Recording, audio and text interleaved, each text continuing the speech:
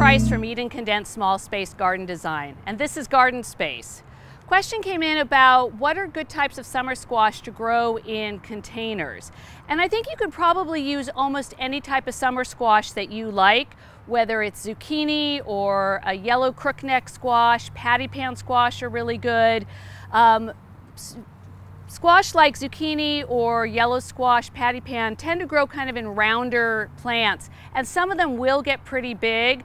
They'll also bear a lot of fruit. So you don't necessarily need to grow a lot of squash unless you want to give it away to all your neighbors or you're going to be making zucchini bread for the rest of the summer.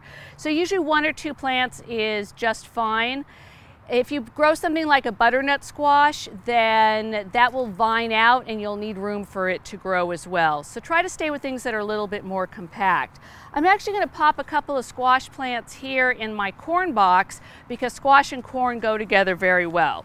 So I'm just going to pull one out here and make a planting hole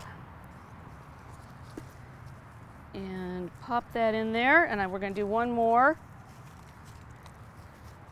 I always use organic potting soil, organic fertilizer. And if these tend to grow too big or they're starting to overcrowd things, you can always pull them out and plant them in a, in a different container. And there we go, we've got two squash here among my corn. If you have any other questions about what kind of squash to grow in containers, please contact me at www.edencondensed.com. Thank you very much.